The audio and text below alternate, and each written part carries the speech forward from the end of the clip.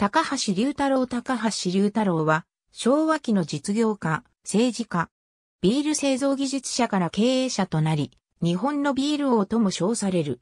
プロ野球団のオーナーや日本サッカー協会会長など、スポーツとも関係を持った。愛媛県北郡内小村生まれ。旧制松山中学校卒業後、東京高等商業学校に進学するも、活気の治療のための展示を兼ねて新設された第三高等学校工学部機械工学科に転校、1898年に卒業する。高等学校卒業後、大阪ビールに入り、1898年から6年間、ドイツに留学して、醸造技術を学び、帰国後は、製造責任者としてビール作りに携わる。後に社長となり、ビールを日本の大衆文化に成長させた。大日本ビール分裂後は、札幌ビールの役員となり、部長に終わった朝日札幌両社の再統合に向け、働きかけていたとされる。プロ野球への造詣も深く、戦前にはイーグルス、戦後には高橋ユニオンズのオーナーとなった。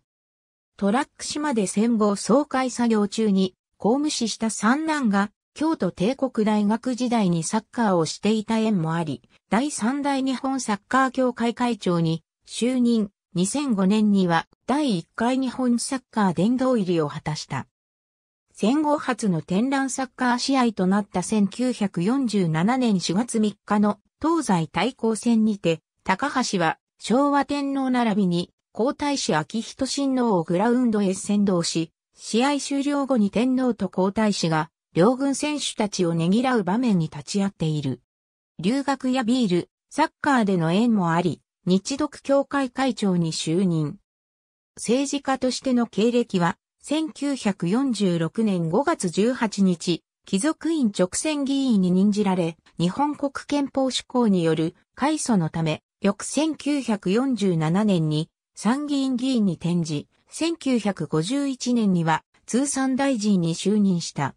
また財界人としては、1947年に日本商工会議所会頭に就任した。